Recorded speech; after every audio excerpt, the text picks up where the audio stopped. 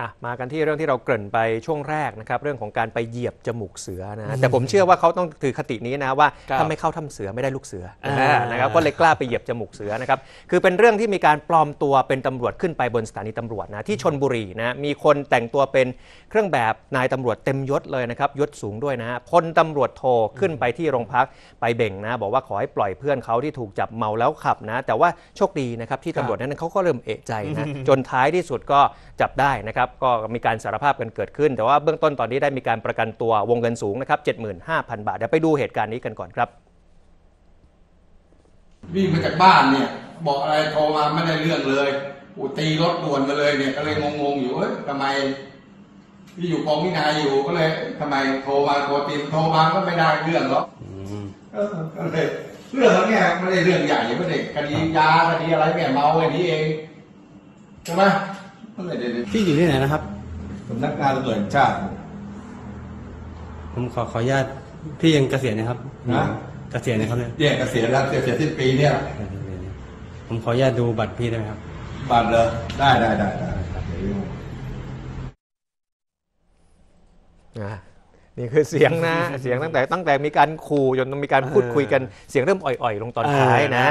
คือเหตุการณ์นี้เกิดขึ้นเมื่อกลางดึกของเมื่อวันที่ 17 กันยายนที่ผ่านมานะครับมีเรียกต้องใช้ว่าเป็นหนุ่มใหญ่นะ แต่งกายเครื่องแบบตำรวจติดยศพลตำรวจโทนะ บุกครับขึ้นที่โรงพักสพเสม็ดนะ มีการพูดคุยกับพนักงานสอบสวนว่าอย่างเมื่อกี้ที่คุณผู้ชมได้ยินนะ บอกว่ามันไม่ใช่เรื่องใหญ่นะเรื่องของการเมาแล้วขับเท่านั้นเอง ปล่อยตัวลูกน้องเขาเถอะที่ถูกเมาแล้วขับอะนะฮะ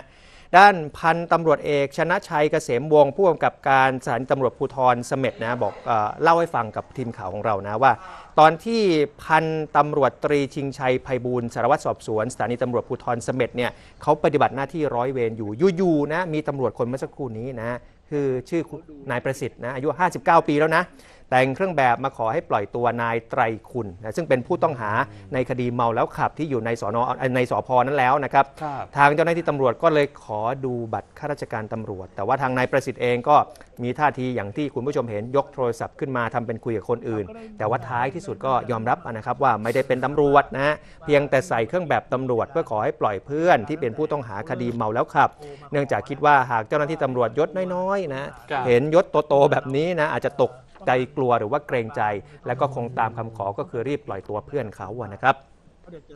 จากการสอบถามไปสอบถามมาก็ยอมรับสารภาพนะว่าอาชีพจริงๆ ก็คือรับจ้างทั่วไป แต่ว่าเขาก็ชอบนะ เครื่องแบบตำรวจเนี่ยชอบเป็นพิเศษเลย เจ้าหน้าที่จึงนำตัวนายประสิทธิ์ส่งพนักงานสอบสวน เพื่อดำเนินคดีตามกฎหมายต่อไปนะ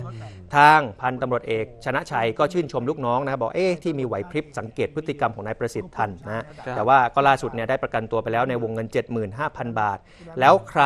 นะทางตำรวจฝากบอกมาว่า ใครที่ถูกนายประสิทธิ์เคยถูกนายประสิทธิ์นะหลอกลวงจนเกิดความเสียหาย แจ้งมาได้เลยนะครับ ที่สถานีตำรวจภูธรเสม็ดนะโทรมาได้ตลอด 24 ชั่วโมงนะ จากที่จะมีคดีเมาแล้วขับที่เพื่อนต้องเคลียร์คนเดียวนะ ตอนนี้มีอีกคดีหนึ่งแล้วตัวนะเองโดนคดีไปด้วยเลถูยกต้องนะเออนะแต่ว่าในความเป็นจริงเนี่ยต่อให้เป็นตำรวจจริงเนี่ยตำรวจชั้นผู้น้อยก็ไม่สามารถที่จะไปปล่อยได้อยู่ดีไม่ได้ก็จะโดน 157 แล้วตัวผิดกฎหมายนะตำรวจจริง ถ้าคนที่มาบอกให้ปล่อยเพื่อนเนี่ยคนนั้นก็จะต้องโดน 157 ด้วยเช่นเดียวกันหมดนะฮตัวหมดเลย ใช่นะครับอะสลับ